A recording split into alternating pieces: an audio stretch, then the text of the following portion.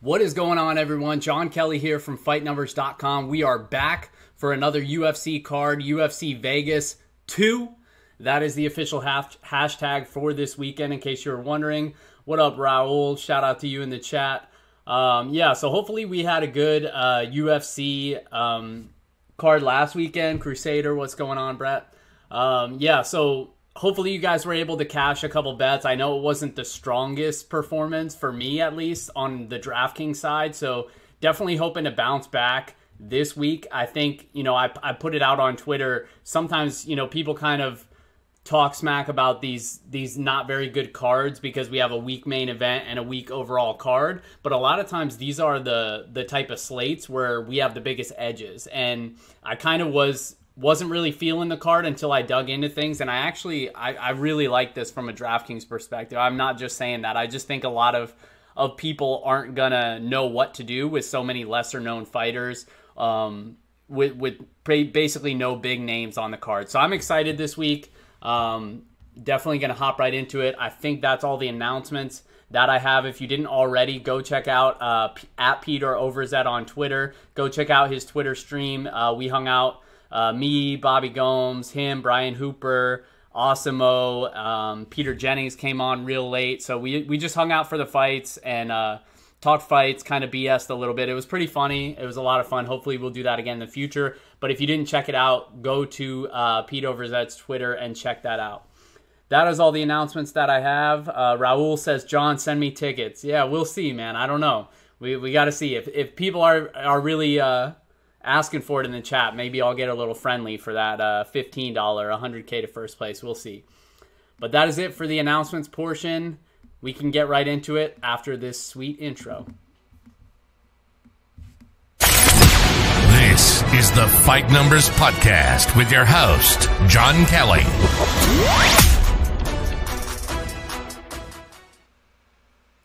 All right. So the first fight up on the card is going to be, um, yeah, a couple fights got moved around here, but I believe the first fight up on the card is going to be Anthony Ivy versus Christian Aguilera. No relation to Christina. I did look that up because, um, you know, he he sort of, I guess, looks like they could be related and very similar name. I, I just thought the people might want to know there is no relation between those two. Um, but Anthony Ivy comes in as the minus 195 favorite. We'll go ahead and pull up best fight odds, see if that moved at all. Yeah, minus 190 favorite. The comeback on Aguilera is plus 165. This fight not to go to decision is minus 265. So right off the bat, we have a fight that um, Vegas is definitely expecting a finish here, which means the winner should score well. And on this fight, you know, I kind of think there's a lot of decisions.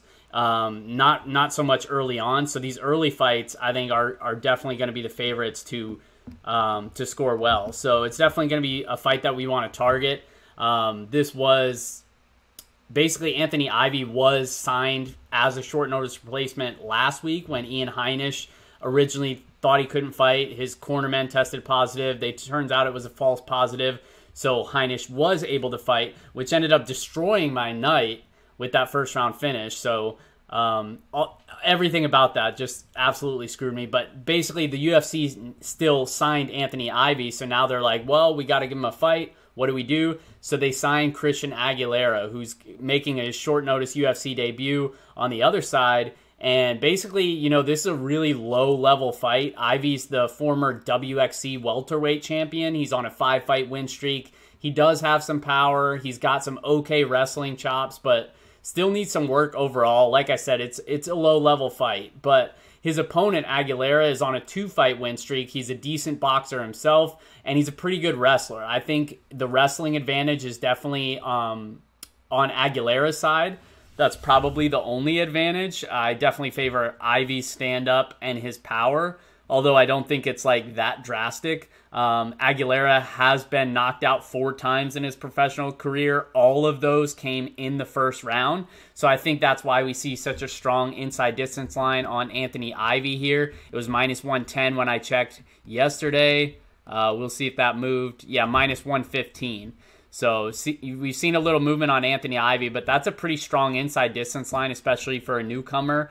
Um, but it makes sense, right? Like Aguilera's been knocked out four times, um, and Ivy has power. He's he's has a few knockouts on his record, so that's definitely what Vegas is expecting. But I also think it's kind of like, hey, this guy's knocked people out. This guy's been knocked out. I feel like it's kind of um, everybody's going to kind of look at it and just think it's like the obvious lock. I wouldn't go so far. You know, like I said, it's a low, low level fight. I wouldn't be shocked if Ivy got knocked out. I know he's never been knocked out in his career, but he was rocked in his last fight in that WXC um, title fight against, I think, Willis Willis Brown or I forget the guy's name, but he had him rocked early on. So it's not like he's indestructible. And again, it's just it's a low level fight. The pick is Ivy by knockout, uh, but I think uh, the, line's a little bit out of control. So I am going to have pieces of both sides with a, a slight lean towards Ivy. But at 9K, he really needs that first round finish. Whereas Aguilera, you know, if he gets a bunch of takedowns. Um, he's cheap enough to where he can pay it off in a decision. So I'll, I'll have sides of both, but the pick is Ivy by knockout. Definitely a fight that that we want to target though for sure. All right, next fight up on the card is going to be Darrick Minner versus Jordan Griffin. Um, this one's going to be fun. You know, this is another one Vegas is expecting not to go to decision minus 265, open at only minus 150. So clearly, everybody's pretty much expecting a finish here. Um, and it's easy to see why Darrick Minner, uh, basically all of his fights end in a finish. uh, but Jordan Griffin comes in as the minus 165 favorite. The comeback on Minner is plus 145.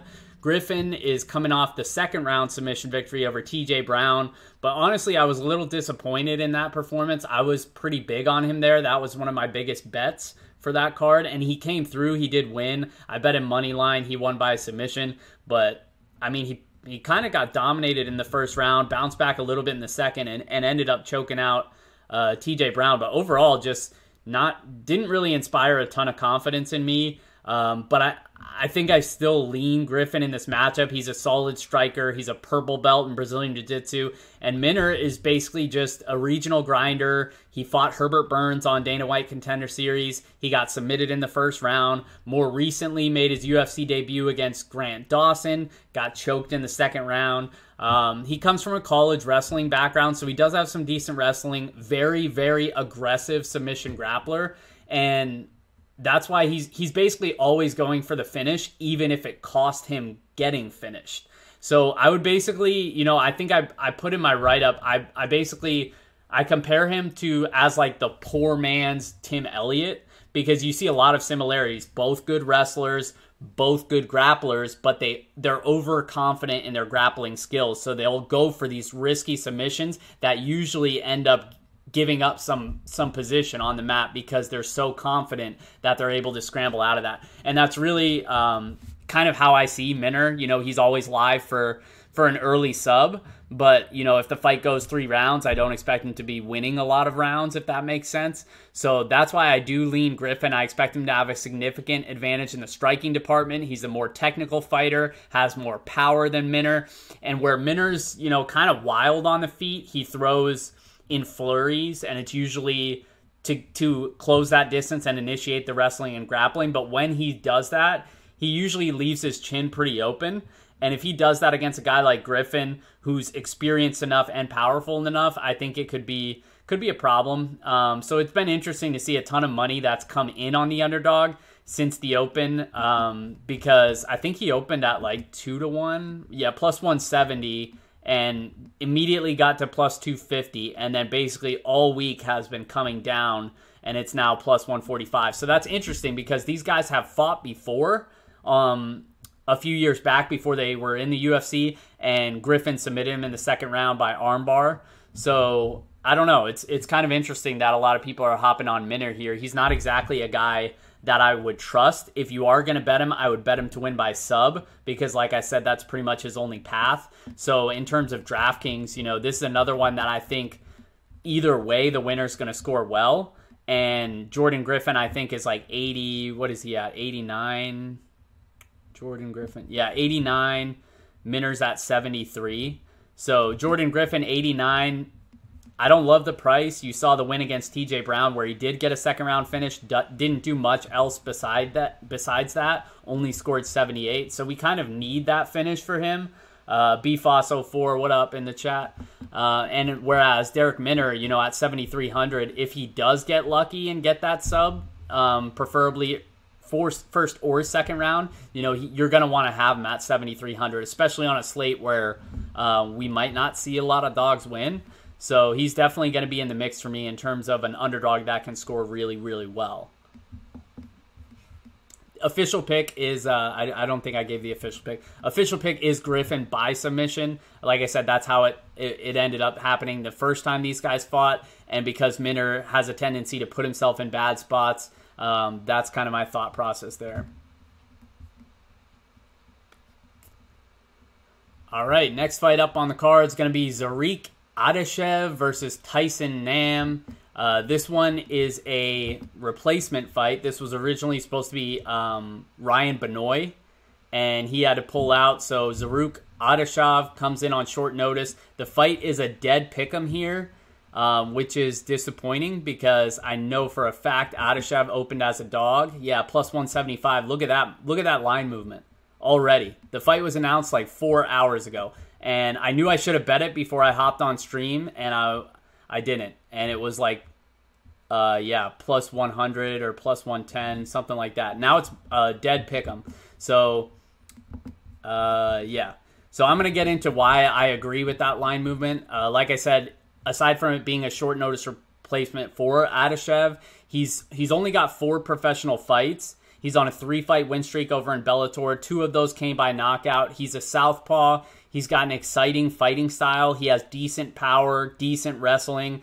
Um, but he just he fights an exciting game plan, and he's another guy that if he thinks he has his op- opponent hurt, then he's going to go for the finish. And that's what I really like to see, especially against a guy like Tyson Nam, who's been knocked out multiple times, not at the UFC level, but he's 36 years old. Uh, he's, he's taken some damage over the course of his career. And even though he stayed alive during his two UFC fights, um, there's no saying that that chin's still going to hold up um, against Adashev, who's going to be, you know, he's he's going to be coming at him. And Tyson Nam, you know, he's 0 2 in the UFC. He's coming off the decision loss to Kai Kara-France back in February. Obviously, he's more experienced, but he hasn't given us much to think about in terms of what he's done at the UFC level. You know, um, he just doesn't throw enough. I I think Adashev's just going to be the more active striker on the feet. I see him as the more overall well-rounded fighter, despite the lack of experience. And where Nam does have a little bit of power, he just doesn't throw enough volume to really threaten with anything. So give me the newcomer Adashev, and if you're going to bet him, like I said, do it ASAP because you know literally four hours ago, not even when I wrote this up, he was plus 120 um, in my write up, that's what I have him at, and it's already minus 115 pick him.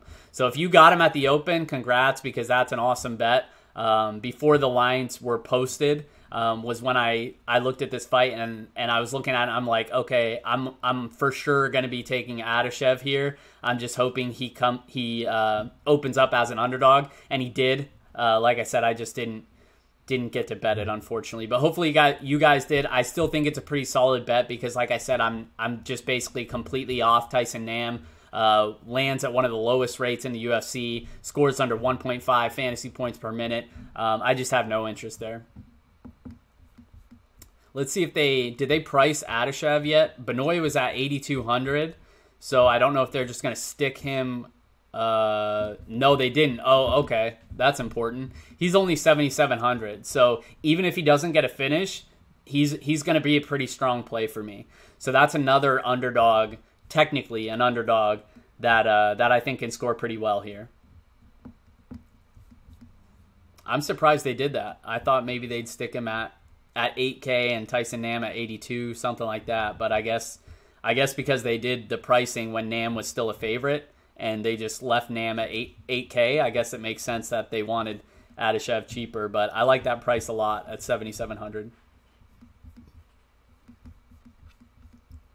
All right, next fight up on the card is going to be Julia Avila, Avile, however you say it, versus um, Gina Mazany. Um, and Avila comes in as the biggest favorite on the card minus 525 now. This is another one. You know, we've seen a few lines this week just get absolutely crushed. This is one of them. Look at this one 245 at the open, immediately down to 435, and then basically has been steamed ever since. Now 525. And she also has a strong inside distance line. It looks like the knockout prop dropped recently because I looked earlier. So yeah, that's going to be a bet for me, plus 130 by knockout. Her inside distance line is minus 140. That's moved as well. It was minus 115 earlier today, opened at plus 145. So that's another significant line movement there. And Avila is not a grappler, really. I mean, she's okay, but she has some power. So I think the knockout prop should be a little bit closer to what the inside distance line is. So I see a decent amount of value on that. I'll be adding that to my favorite bets. Um, I didn't have it originally because, uh, like I said, the props weren't dropped when I capped this fight. But I definitely uh, can see why Avila's the big favorite here. She's a strong boxer. She's got good power. She's good in the clinch. Um, and she has a pretty strong ga- gas tank. She kept up a pretty, you know, a really high debut against Pannie Kianzad in her debut, and she didn't really gas at all. So, she, and the other thing I like about her is like um, like I said, she knows when to go for the kill shot. She's not afraid to throw in in combinations, you know, when she smells blood in the water, which is always something I like to see. I talk about it every single week, you know, when because there's there's definitely some fighters out there that don't have that killer instinct and you're just screaming at your TV like go you have him hurt you have him hurt push and they just don't for whatever reason so I always always like to see it when when fighters do have that that killer mentality in terms of knowing when to go for the finish. And I think Avila has that. Um, and I just think you know she she basically beats Mazany everywhere the fight goes. Mazany was one in three in the UFC and had just one fight since leaving the UFC, and it was against a 44 year old can basically on the regional scene, and she submitted her in the first round. So after that, I guess the UFC was like, "This is awesome. We got to get her back in the octagon uh, to fight." Uh, Julia Avila and probably get knocked out. So, like I said, I just see Avila having every advantage here. She has the strong inside distance line. Uh, you're going to pay for her on DraftKings, but Avila by knockout is the official pick. I am expecting a finish here. I know she's the most expensive fighter on the card, and that's where you're going to have to make some decisions at 9,300. Um, you know, she did get a knockdown in her debut, but uh, didn't score well in terms of if she's going to be priced up like that. So we really do need a finish from her. And even though I expect it, there are other plays around her that are a little bit safer, in my opinion, and we'll get to those, but she's definitely in the mix for me.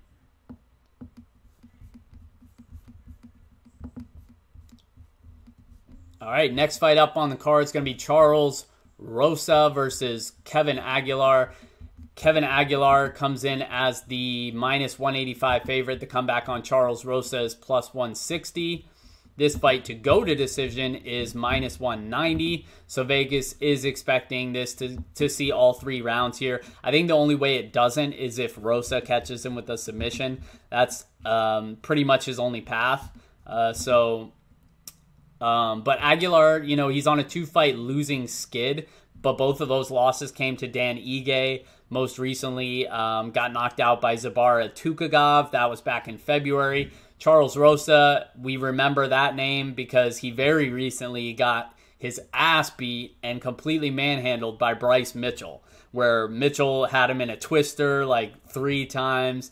Surprising that he didn't tap, but uh, basically just got dominated for 15 minutes. That was on UFC 249 card. It doesn't take long to see that that Rosa is not very comfortable on the feet. He wants to get this fight to the mat. He is a black belt in Brazilian jiu-jitsu, ugh, Brazilian jiu-jitsu, but against Kevin Aguilar, I don't know how successful he's going to be taking it to the mat. Um, Aguilar's takedown defense is 89% when Aguilar fought Enrique Barzola a few years ago. Um, Barzola struggled to take him down, and Barzola is a much, much better wrestler than Charles Rosa. So I kind of just see Aguilar, you know, stuffing the takedowns and getting the better exchanges on the feet.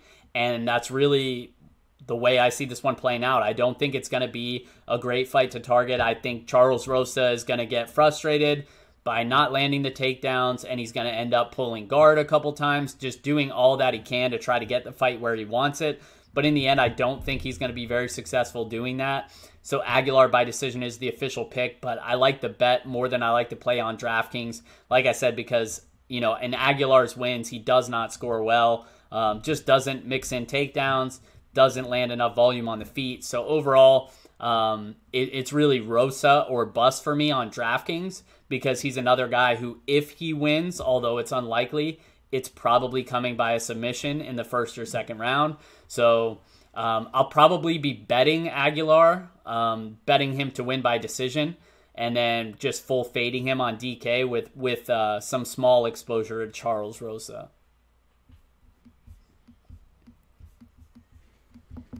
All right, next fight up on the card.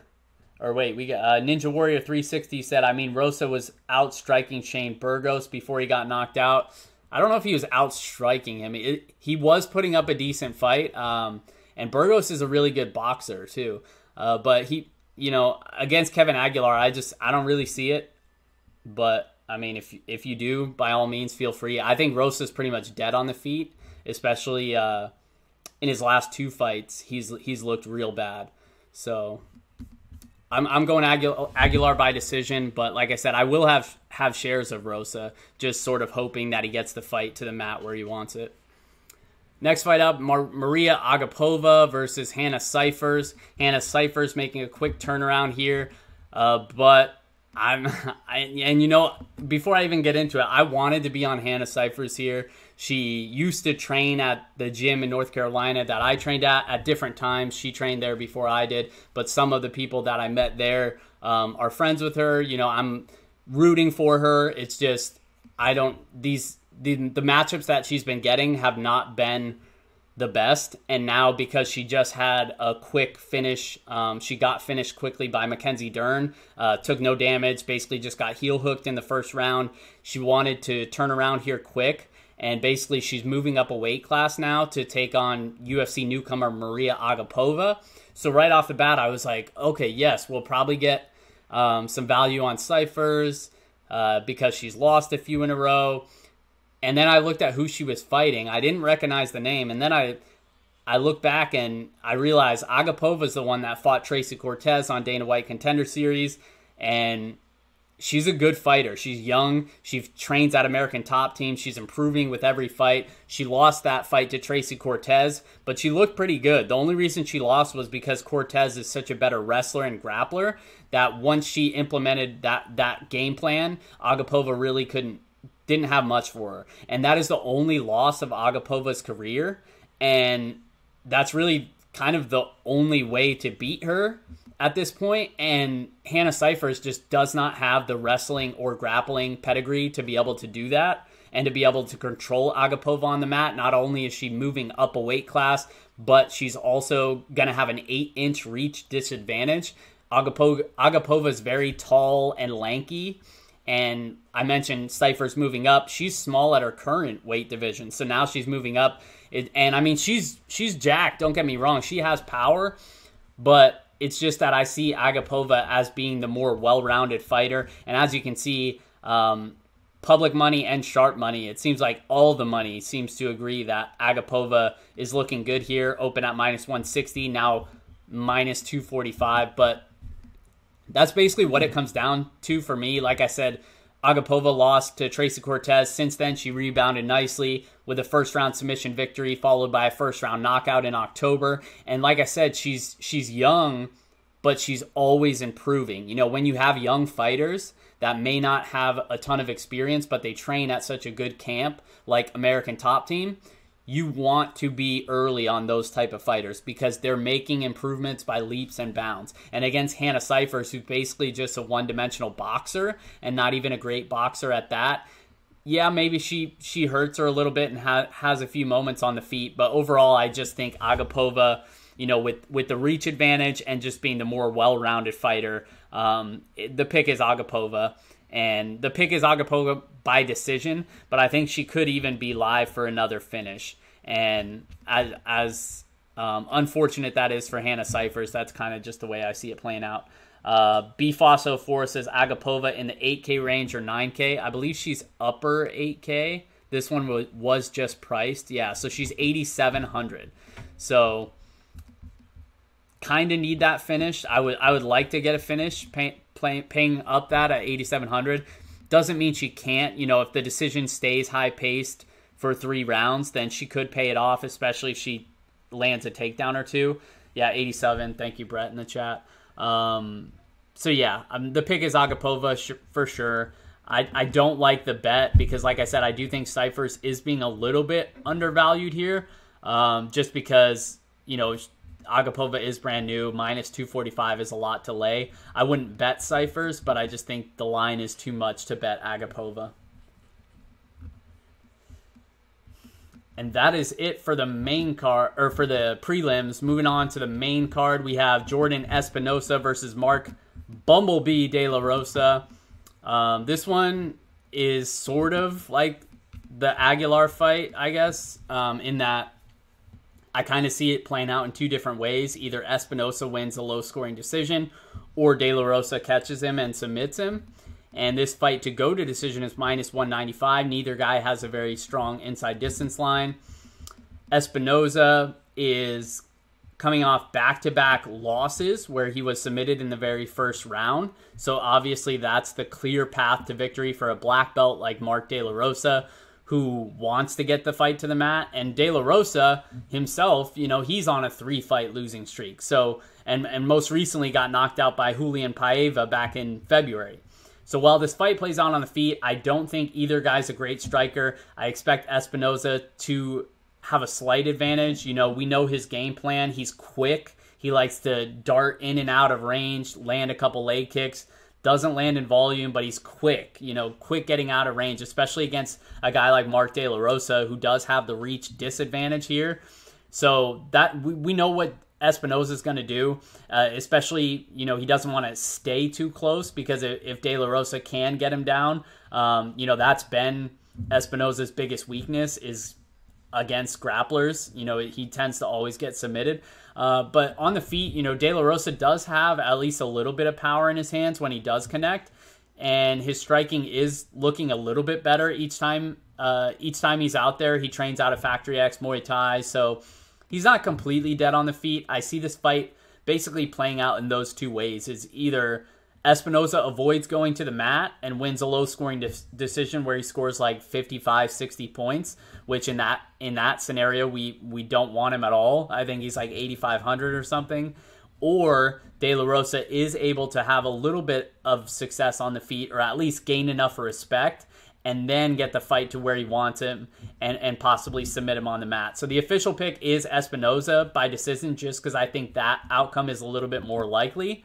But like I said, I have zero interest on DraftKings. He's never been a high volume guy, does not score well in his wins. And at 8,500, I, I just really want no part of him. Um, only win in the US, UFC was Eric Shelton, who I think is a bum. Scored 59 points in that fight. And then, like I said, got submitted in the first round in his other two. So Espinosa is going to be a full fade for me. And I will put uh, Mark De La Rosa in that Charles Rosa category where um, you know, if he wins, I think it comes by a sub. I don't have a ton of confidence that he wins, so I'll I'll mix him in if I'm playing 10, 10 or more lineups. All right, next fight up on the card is going to be a little more fun than the previous. It's going to be Andre Touchy Fili versus Charles Air Jourdain. I'm trying to mix in nicknames more. I had a few people tell me they love the nicknames, so I I know most of them. I just usually don't don't put them in my write up. So if I remember to, I'm gonna start giving the nicknames because I know I know a few got a few you guys love the nickname. So Andre Touchy Fili versus Charles Air Jourdain. Fili comes in as a pretty sizable favorite here. Um, let's see if it moved at all. It was at 225 earlier today. Yeah, 225. The comeback on Jourdain is plus 185. This fight to go to decision is minus 160. And the inside distance line for both fighters, Fili is plus 325. And Charles Jourdain is plus 285. So a better inside distance line for Jourdain. And it looks like money's been coming in on, on that uh, inside distance line as well. But yeah, I think this one's an interesting matchup. You know, I'm kind of a, an Andre Fili fan. He's coming off a decision loss to Sodiq Yusuff back in January, where I thought he looked pretty good. I thought you can make an argument that he won the fight. I'm not crying about it because it was so close that I'm not going to be mad if you gave it to uh, Sodiq Yusuff. But Sodiq Yusuff is one of the the best like up and comers in the 145 division, and Fili beat him in round one and he outstruck him in round three. So that's saying something. You know, Fili isn't a slouch when it comes to striking. And Charles Jourdain, you know, these guys are gonna they're gonna trade on the feet. He's coming off a big second round knockout over Doo Ho Choi last December, where he came through as a pretty big underdog. He's a southpaw. He loves to bang. He's always looking to throw that flying knee, which I'm assuming is how he got the nickname Air Jourdain.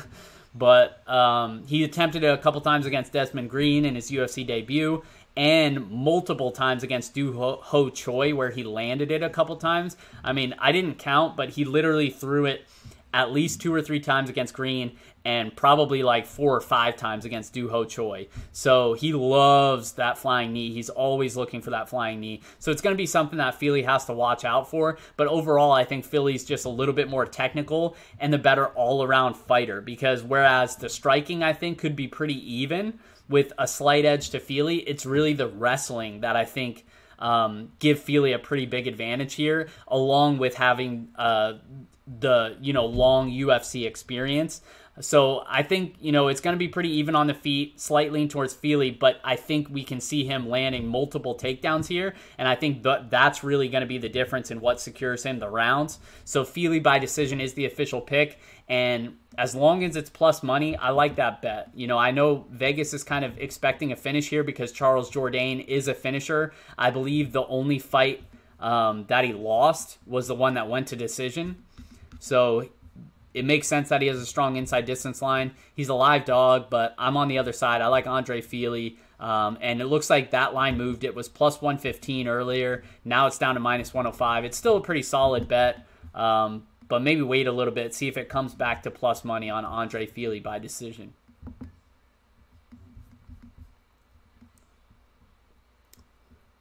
All right, next fight up on the card is going to be Merab Dvalishvili versus Ray Borg. Um, Dvalishvili comes in as the second biggest favorite on the card. Um, he is at minus 420. The comeback on Ray Borg is plus 335. This fight to go to decision is minus 300. Neither guy really has a strong inside distance line. Dvalishvili plus 420, Borg plus 515. Um, but the good thing about these guys is usually even in a, in a decision, they do enough wrestling and grappling to where they score well. And Dvalishvili's coming off the unanimous decision victory over Casey Kenney back in February. He landed 12 takedowns in that, scored like 130, broke the slate like he tends to do. Uh, Ray Borg is coming off the split decision loss to Ricky Simon on May 13th. But let's be honest, split decision. I thought it was a unanimous. Ricky Simon pretty much dominated him. I'm not really sure how it was a split, but either way, um, I think this fight is pretty straightforward. You know, Dvalishvili is nicknamed the Machine for a reason, and I just really have to back him in this matchup. I think he's the better version of Ray Borg. He lands almost three times as many strikes per minute on the feet. He lands almost double the takedowns per 15 as Ray Borg, and where Ray Borg's an excellent wrestler and decent grappler, Dvalishvili is just better. He doesn't have the strength. He doesn't have the strength or the cardio to be able to keep up with the pace of Dvalishvili. So I'm on Dvalishvili here. It's no secret. The guy has cardio for days. He leads the bantamweight division in fantasy points per minute at 4.52, which is the second highest in the UFC across all weight divisions, second only to my girl Tatiana Suarez at 4.57. So um, we know even even in a decision, it does not matter. On average, you know he's scoring a lot. You know, 100 points in a decision is really good. So even against a guy like Ray Borg, I think we see a bunch of takedowns here, and I favor him on the feet as well. So Dvalishvili by decision is the official pick. Very strong play on DraftKings at 9,200. And that that's what I was kind of getting at before. You know, Avila 9,300, we're going to have to make some decisions because it, it can be kind of difficult to play her and Dvalishvili And I just think he's the safest play on the board at 9,200. Like I said, against Casey Kenney back in February, scored 131. Brad Katona, uh, and Ware, those were both decisions, scored over 90 points in those. Um, lost against Frankie Saenz and Ricky Simone, but he scored 71 and 79 in a loss. So, like I said, safest play on the board and probably the most upside as well. So, I'm going to be very heavy on Merab, the machine, Dvalishvili.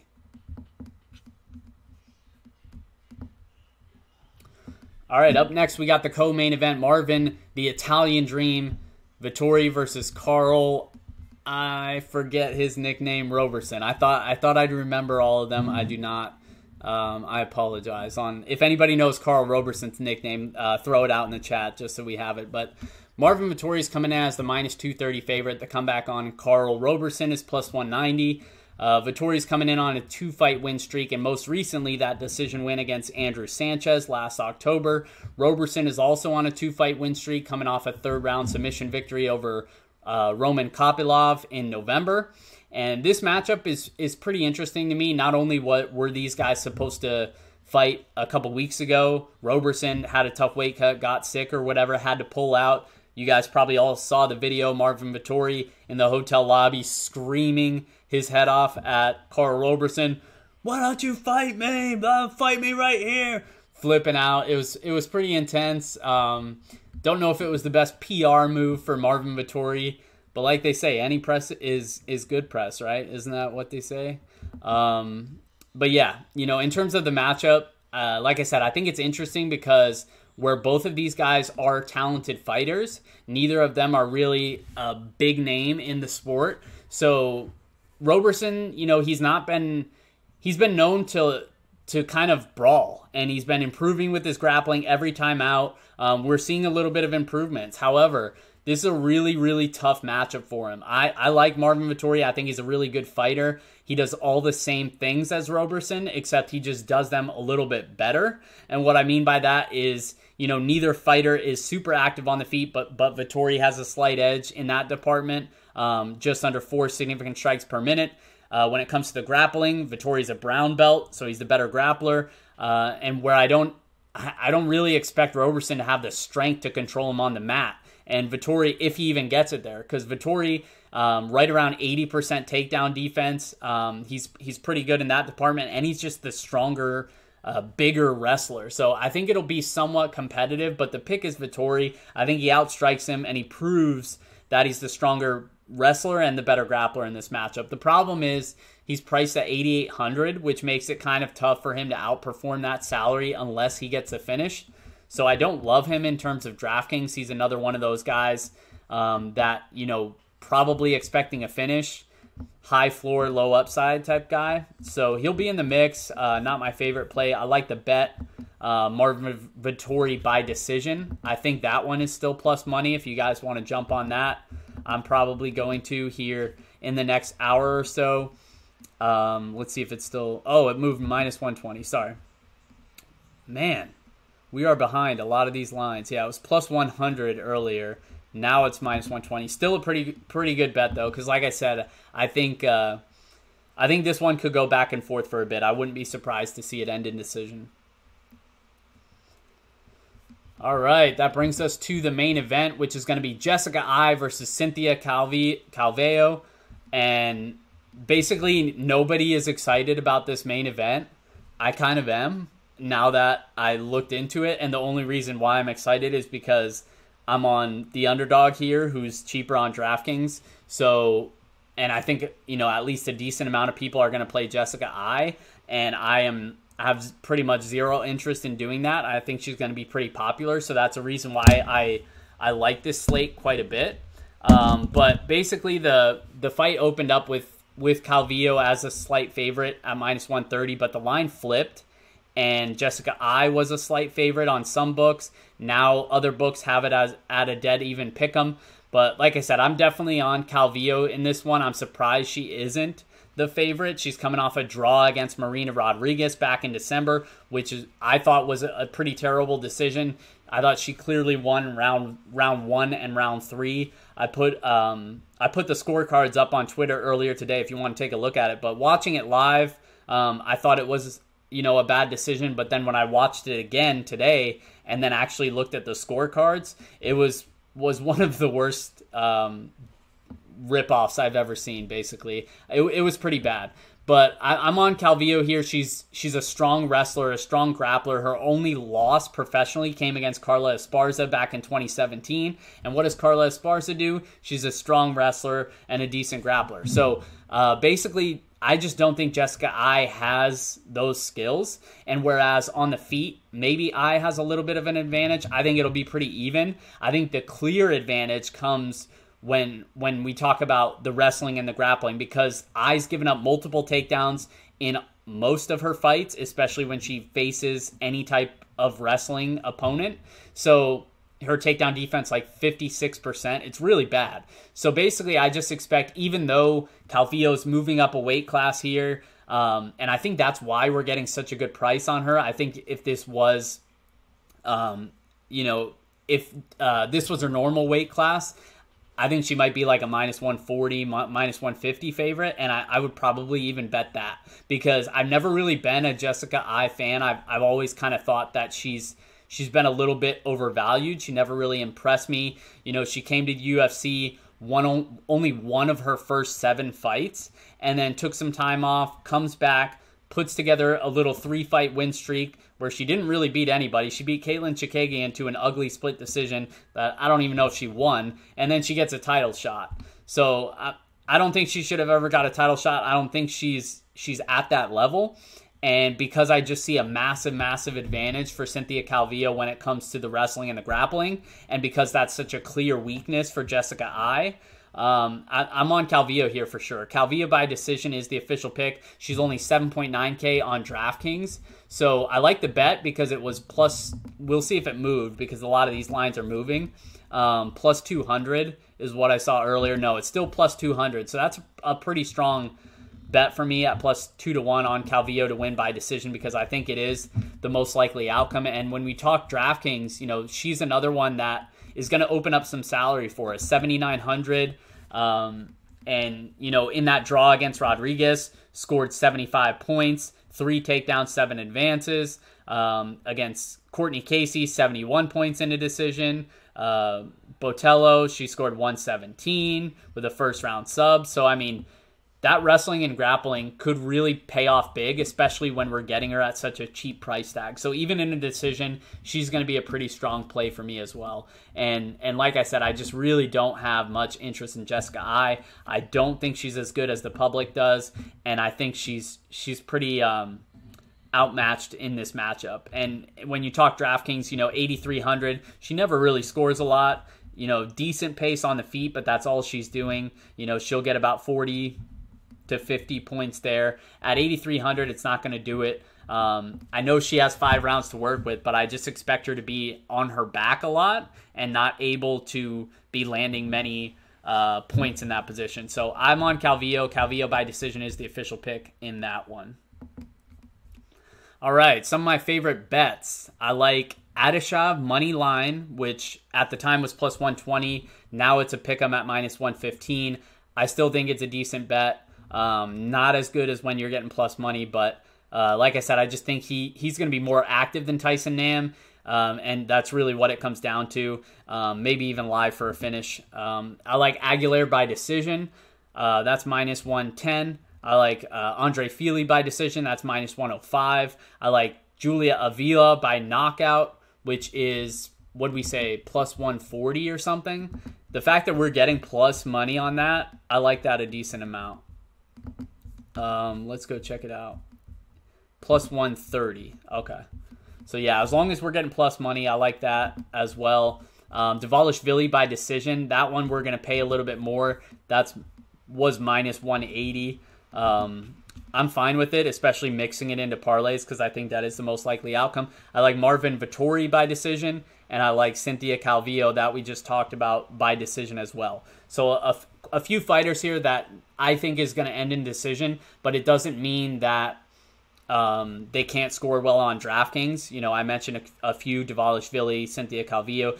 They're probably going to score well regardless of whether or not it's a, a decision or not. Um, and on the flip side, you know, like the Kevin Aguilar fight. If he loses, he's probably losing by sub. Jordan Espinosa, if he loses, he's probably losing by a sub. So just because I'm betting these guys to win by decision um, doesn't mean that um, you shouldn't at least have a little bit of exposure to the other side, even though um, I think that's the most likely outcome. Crusader2414 says Vettori by decision on FanDuel is plus 100. Thank you, Brett. That is um, my main sports book, so I'm going to hit that while it's still plus money because, like I said, I'm pretty confident that's the outcome.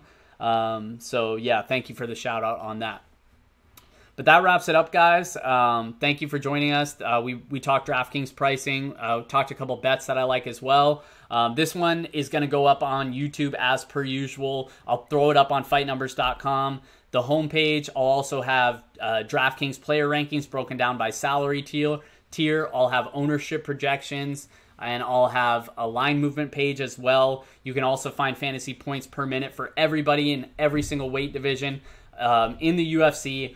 Um, completely free. Check it out for sure. We uh, broke a record last week for the big uh, pay per view card, so I'm definitely thankful for that. I wish we could have could have had a little bit better of a week. The bets were the bets were pretty strong. It's just DraftKings um, got to get back on back on a, a hot streak here. So I definitely appreciate it. Do me a favor, guys, before we get out of here, hit the like button on Twitch. Um, you would now have the opportunity to subscribe to me if you have Amazon Prime. It's completely free. If you don't already subscribe to somebody, you get one uh, Twitch Prime sub per month with Amazon Prime. So if you're not using it, um, go ahead and give it to me because in the future I'm going to be having um, some additional content for subscribers only.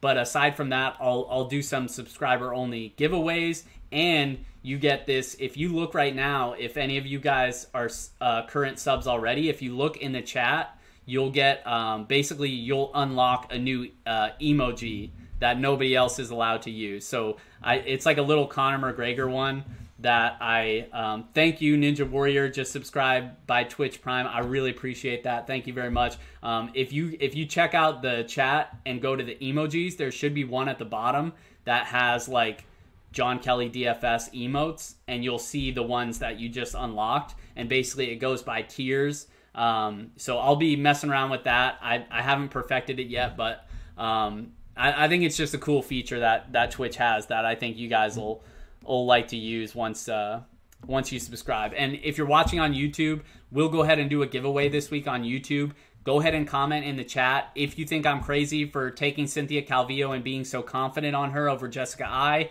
Um, then just say you're crazy um, in the comment or call me a name or whatever. How, whatever you see, you know, I can handle it. Um, if you think I'm right, then just uh, say Calvillo by decision, and basically I'll do a giveaway $15 ticket, DraftKings, 100K to first place again this week. Like I said, I know it's not the best card with all the big names uh, coming from a pay per view that was pretty stacked, and now we have a lot of unknown people, but that's usually when we have the biggest edges. So good luck this week, guys, um, and I will see you uh, next week. And if any questions come up between now and then, follow me on all social at Jon Kelly DFS. Appreciate it, guys. I'll see. You. Oh, and uh, Ninja Warrior just put the.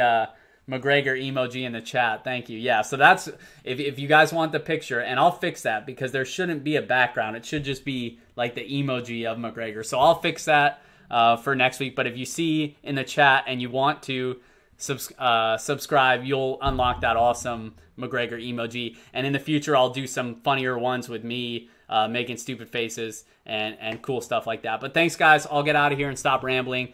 Good luck this week. If you're playing golf, good luck in that as well and I'll I'll see you guys next time.